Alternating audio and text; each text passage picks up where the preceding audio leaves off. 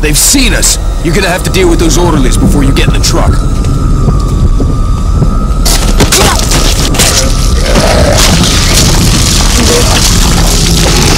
Don't leave